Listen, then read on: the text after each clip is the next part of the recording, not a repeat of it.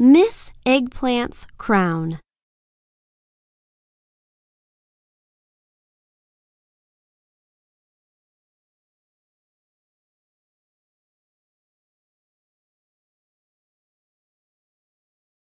Today, Miss Eggplant is running around the kitchen.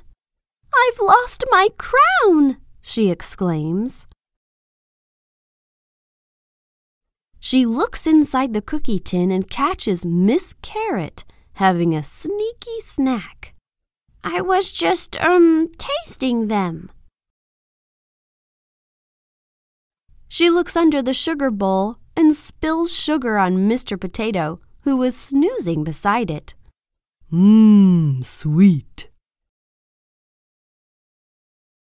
She lifts the bread, and poor Mrs. Broccoli rolls off and lands on the counter. What are you up to, Miss Eggplant? asks Miss Broccoli, brushing herself off. I've lost my crown, Miss Eggplant says, looking flustered. Well, why didn't you just say so? We will all help you to find it, my dear. So the veggies are searching all around when they hear something. Crash! What must it be?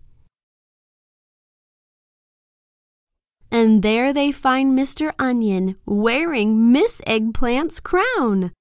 It's too big for you, Mr. Onion. Oh, how they all laugh at the sight of it.